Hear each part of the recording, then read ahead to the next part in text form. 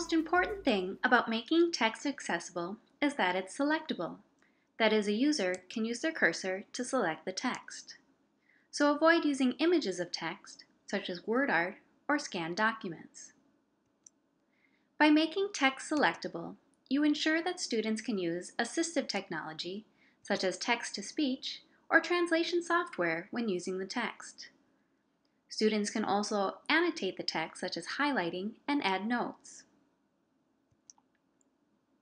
Making text selectable also makes it possible for students to change the size, color, or even font of the text.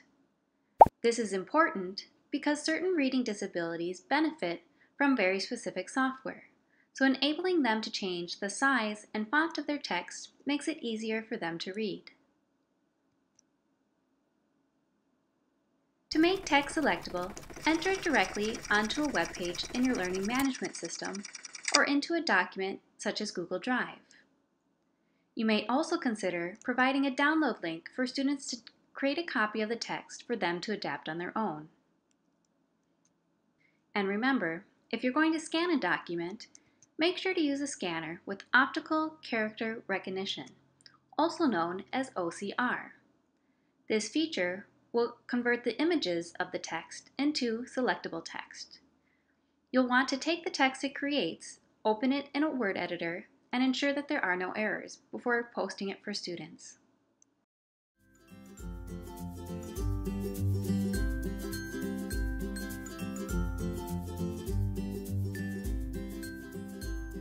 When formatting your text documents, it's important to use pre-made formats, including headings and bullet lists, rather than just arbitrarily bolding, indenting, and changing the font size of your text.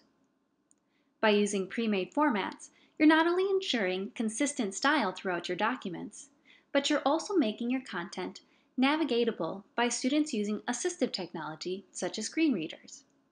Rather than listening to an entire document, Students using screen readers will be able to skip to a specific section using a table of contents that is generated based on the headings in your document.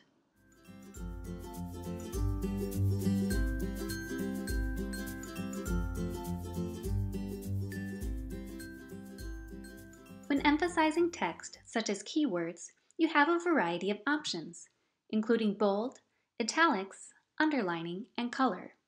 However, not all options are created equal. Let's take a look at color. You should refrain from relying on text color or highlighting to indicate emphasis.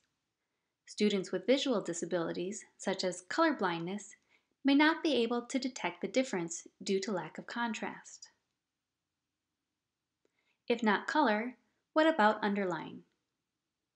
In digital content, underlining usually indicates a link your students may go to click on underlined text and expect something to happen. When nothing does, they may think it's broken. Avoid underlining text for emphasis as it will only lead to confusion. This leaves you with bold and italics, both of which are excellent options for emphasizing text, as they are detectable by screen readers. However, italics can be difficult for students with reading disabilities specifically dyslexia, to decipher. So try to stick to bold for emphasizing text as much as possible.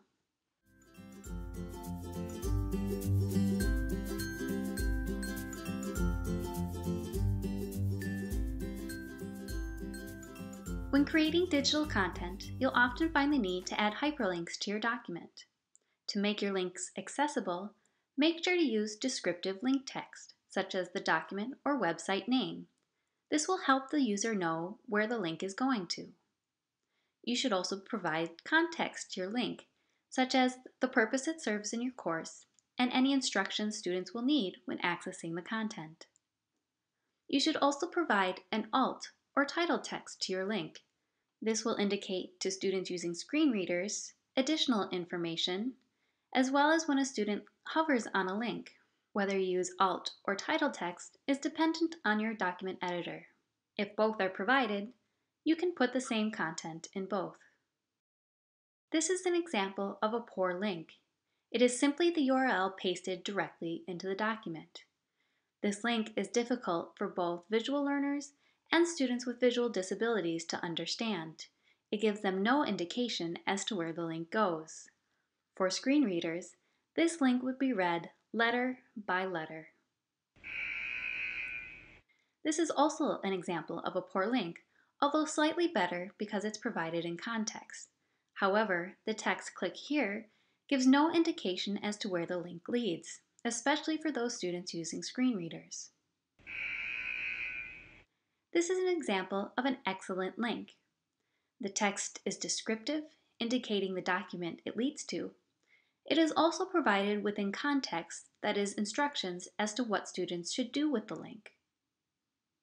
When a student hovers on the link, the title text provides additional information, including the website where the document is located. When linking to external content, that is, content that is not on your course website or learning management system, you should consider opening the link in a new tab or window. This way, when the student closes the link, they're right back in your course website and they haven't lost their place. This is especially important for younger learners, particularly those in kindergarten through 12th grade.